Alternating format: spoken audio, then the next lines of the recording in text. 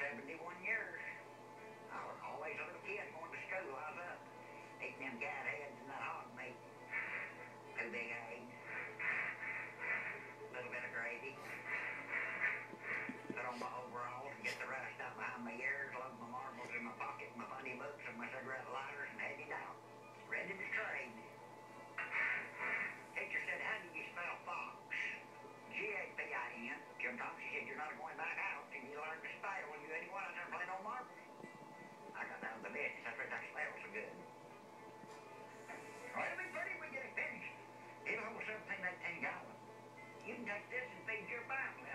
de, de